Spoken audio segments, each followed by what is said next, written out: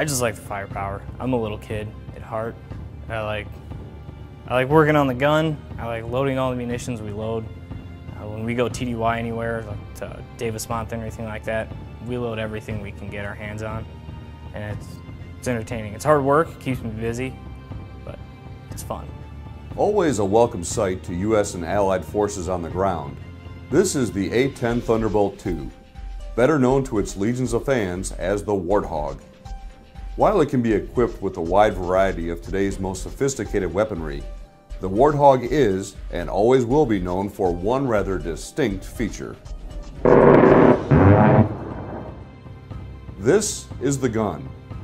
Officially known as the GAU-8 Avenger, the gun is the primary weapon system upon which the entire airframe of the A-10 was built.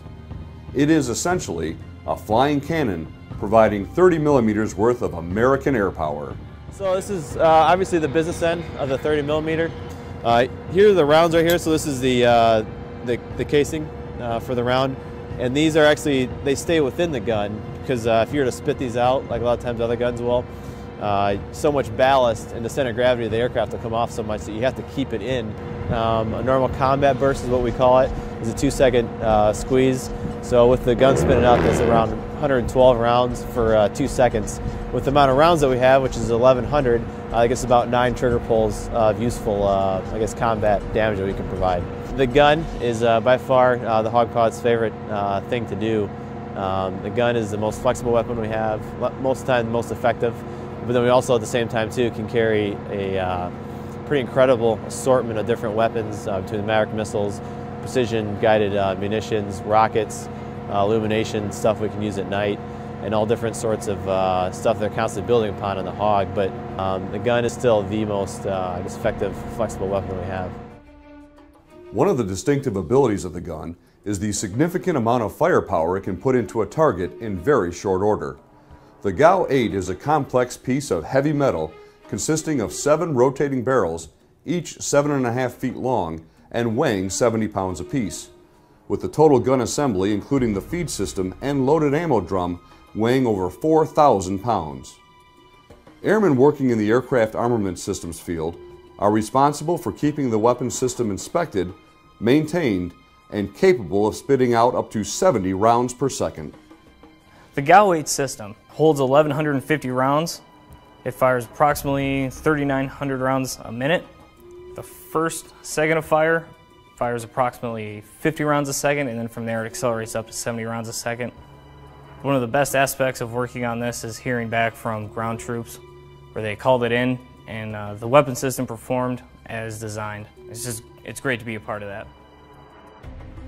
This is the ammunition loading adapter that we use on the 30 millimeter gun on the A-10 Thunderbolt II. Uh, it's commonly referred to as the ALA or the Dragon. The ALA is powered by the aircraft's hydraulic power through a flex drive. It attaches to the aircraft with the load head and we have a CIU that attaches to the ammo can that's delivered by ammo. We normally load uh, 575 rounds per can which adds up to 1150 for the aircraft. And what it does at the same time, we can upload bullets and download bullets, and this times directly to the gun system. One of the training advantages available to A-10s and other aircraft in the Great Lakes region is the proximity of the Grayling Air Gunnery Range in northern Michigan. A-10 pilots from the 107th Fighter Squadron at Selfridge Air National Guard Base are just a 30-minute flight to the range at Grayling where pilots face realistic and dynamic training scenarios. There, pilots are able to train with Joint Terminal Attack Controllers, placing bombs and bullets right on target. It's an awesome target set uh, that we can go up there and play on. They're constantly changing it around as to what their uh, customers' needs are. prepares you uh, very well because you can go up there, practice it, you know, kind of training around it, and really when you start to uh, fly over in Afghanistan, start to do the stuff that you're practicing training for up there, you're like, oh yeah, I remember doing this up at, uh, up at Grayling a lot of times. For Warthog pilots, maintainers, and their fellow airmen, ensuring this firepower is available when and where needed is at the core of their duty to their state and nation. Thing I like the most, obviously, is uh, serving the United States uh, military, serving in that capacity, and uh, helping protect the people uh, in America overseas and uh, being a part of that. Our biggest thing that we do as uh, hog pilots, helping out the troops on the ground and you know, providing that aero coverage that they could need at any time.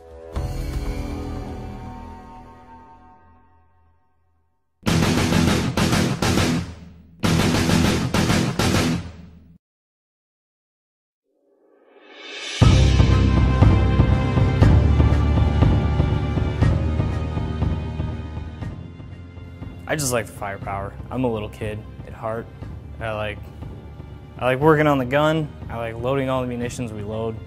Uh, when we go TDY anywhere, like to Davis Monthan or anything like that, we load everything we can get our hands on, and it's it's entertaining. It's hard work, it keeps me busy, but it's fun.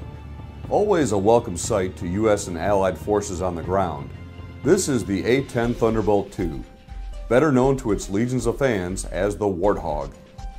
While it can be equipped with a wide variety of today's most sophisticated weaponry, the Warthog is, and always will be known for one rather distinct feature.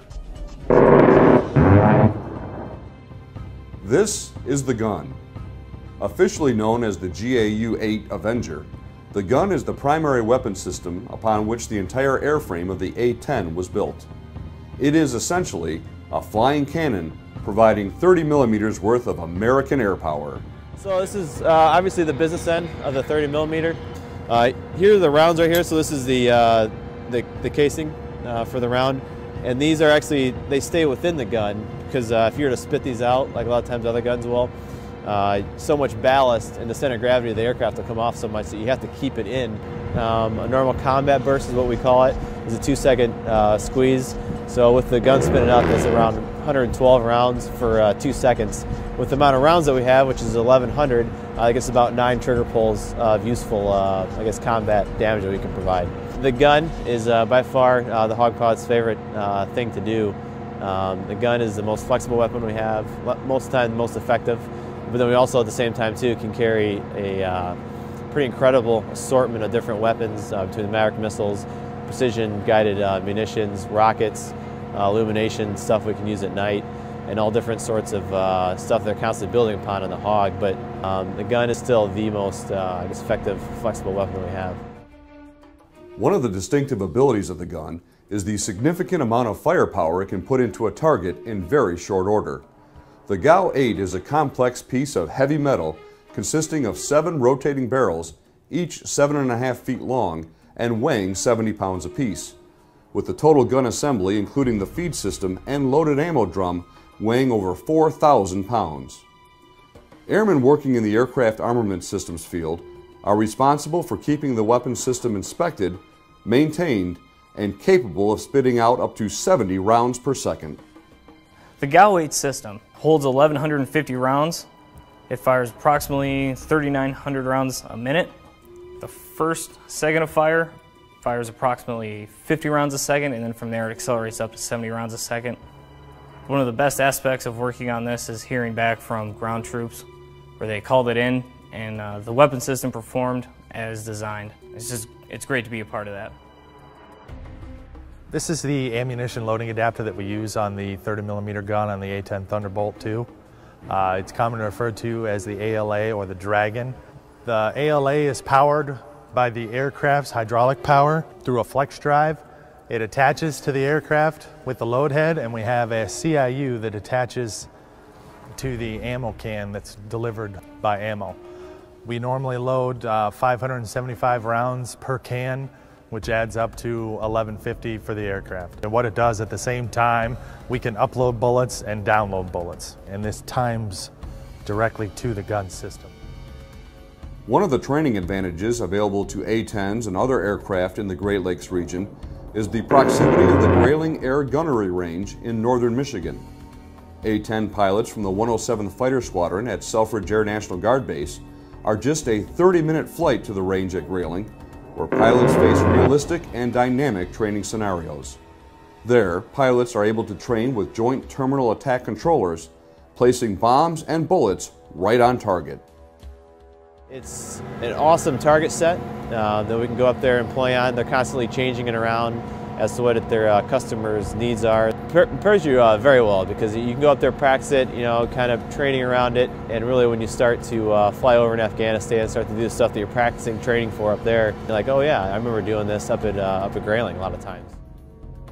For Warthog pilots, maintainers, and their fellow airmen, ensuring this firepower is available when and where needed is at the core of their duty to their state and nation. The thing I like the most, obviously, is uh, serving the United States uh, military, serving in that capacity, and uh, helping protect the people uh, in America overseas, and uh, being a part of that. Our biggest thing that we do as hog pilots, helping out the troops on the ground and you know, providing that aero coverage that they could need at any time.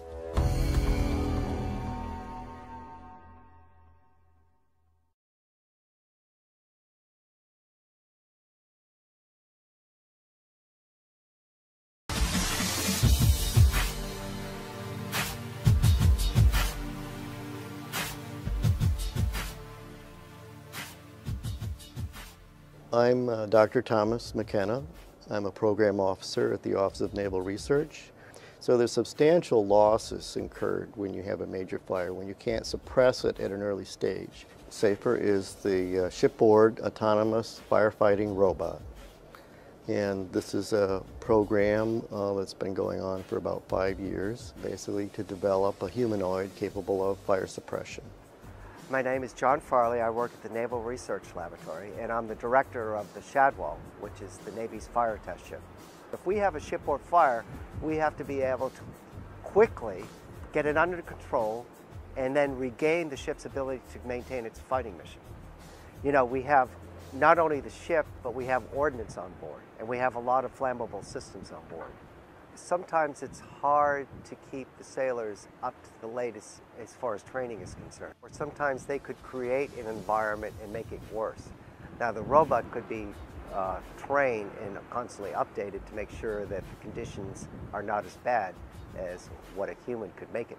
Well, our objectives for the demo on the Shadwell were to show that the, the robot could walk over what was a very uneven floor, that it could uh, orient itself to the fire, that it could autonomously handle the hose, operate the hose, aim the hose, and suppress the fire, which it succeeded in. I'm Brian Lattimer. I'm an associate professor at Virginia Tech in the Department of Mechanical Engineering.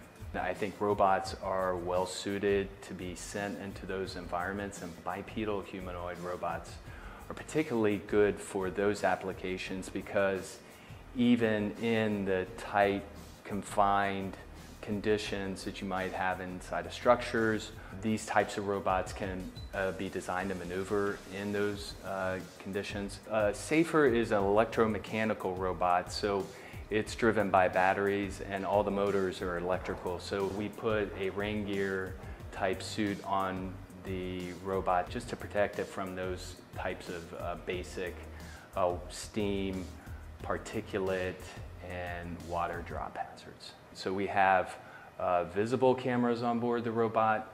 We have something called a LiDAR, which is a rotating laser that gives the location of the points in the field of the view of the robot.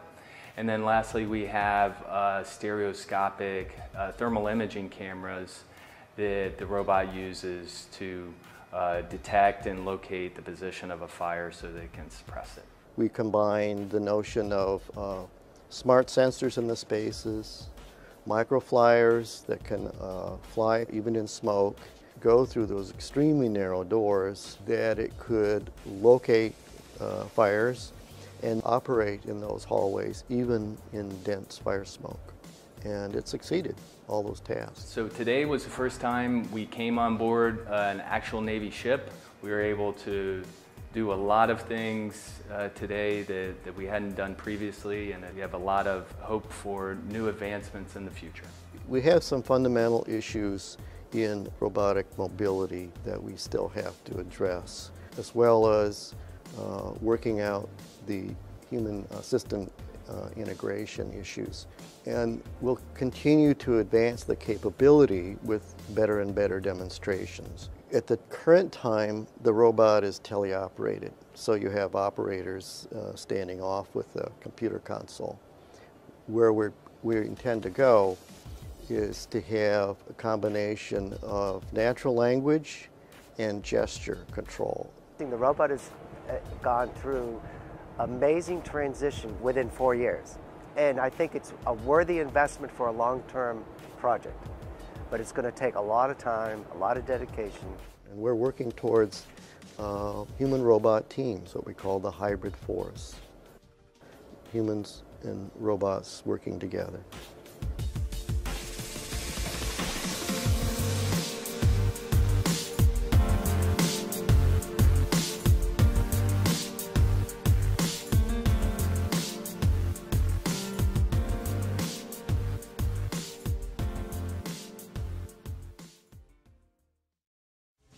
This week on a special edition of today's Air Force, we'll take an in-depth look at the Boneyard. Without the parts that we reclaim here at the Boneyard, we'd stop flying. We'll meet the dedicated team that brings new life to old aircraft and hear the nostalgic stories of airmen who flew these planes decades ago. We'll have all those stories and much more right now on today's Air Force.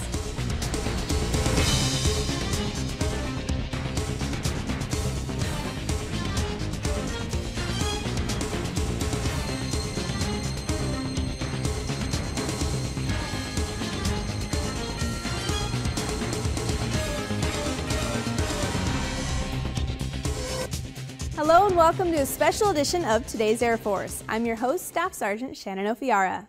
On this special edition of the show, we're taking you to Tucson, Arizona for an inside look at what happens to Air Force planes after they've flown their last mission.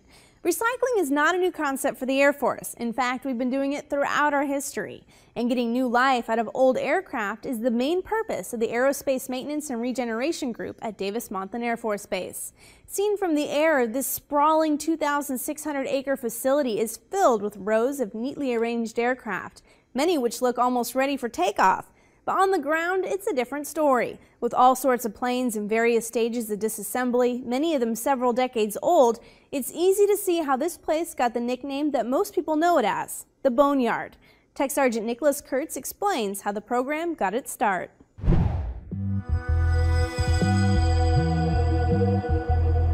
There are more than 4,000 aircraft parked here at the Boneyard. Taken together, these planes would make up the second largest air force in the entire world. But most of these planes will never fly again. They're here to serve a different purpose.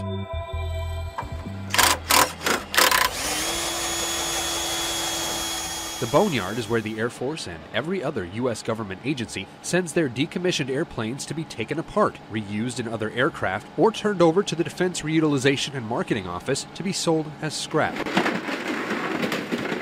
The reclamation process at AMARG is able to extract the very last tax dollars from these aircraft after they've reached the end of their useful operational lives. It's a mission that's been helping save taxpayers money since the end of World War II.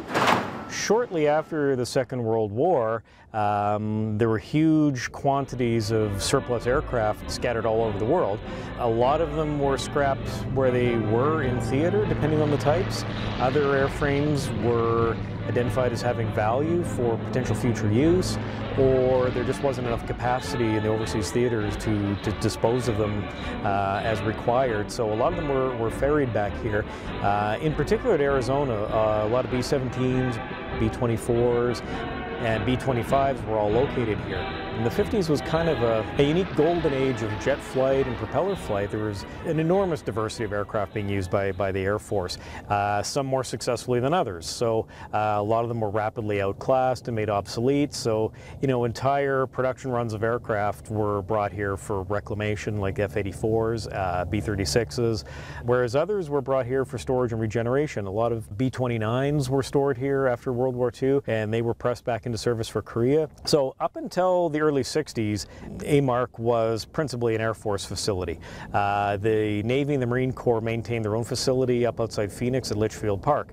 Uh, but that was closed up, I think, in 1962, and all those assets transferred down here. So since that time, this has been the complete storage facility for government aircraft. So you find NASA aircraft over there, you find Coast Guard aircraft, Border Patrol, Navy, Marine, Reserve units, training units. We have a lot of unique airframes here, a lot of uh, one-of-a-kinds or few-of-a-kinds. Behind us here, there's a B-36 Peacemaker. It's special. It um, is the last production one ever built by, by Convair. Uh, came off the assembly line in 1958, flew for two years, retired out in, in Fort Worth. It's one of only four existing airframes out of nearly 400 built. One of my personal favorites is the Boeing B-52A um, Stratofortress. It's the oldest buff in existence, a serial number three, uh, third one off the production line. Uh, it was the principal uh, test airframe um, and carrier mothership for the X-15 program. So nearly all of the early Gemini, Mercury, and Apollo astronauts all dropped off of our uh, off of our B-52A uh, in the X-15 program. Uh, the recently deceased Neil Armstrong was a participant of that program and dropped off our airplane. So it's, to my eyes, it's kind of reeking in history. I, I, I really love it. As the Air Force has evolved, so has the Boneyard. During the Cold War, America's determination to outpace the Soviet Union in the space race helped fuel an explosion of technological advancement. Almost as quickly as they were introduced, U.S. military aircraft were regularly phased out as newer aircraft flew faster, higher, and farther. The outmoded airplanes were sent here, and the Boneyard's inventory began to swell. With the Vietnam War came a renewed call for even more advanced bombers and fighters. By the time that war started to wind down in 1973, the Boneyard's fleet had reached an all time high of more than 6,000 aircraft. Today, some 4,000 aircraft still sit in the Boneyard, in various stages of the reclamation process. But the inventory here, much like in today's Air Force, is destined to change. You know, as our Air Force becomes more and more technologically reliant, um, fewer and fewer different types of airframes are being produced. Um, I would expect probably in 20 or 25 years, you'd probably see less than a thousand aircraft over there. And looking out 40 years, there may not be a need for such a large facility. There'll always be a need for the facility, but whether or not you're going to find fleets of KC-135s or fields of F-15s, Probably not. You know, there's 200 some odd F-22s. You know, the F-35 hasn't even really come into full operational service yet, so I wouldn't expect to see any of them even twinkling at retirement for 35 or 40 years. You know, but there's probably several hundred of them, so it's it's not going to be the same vast, diverse fleet that you see now. So, you know, it is kind of the end of a golden age. You know.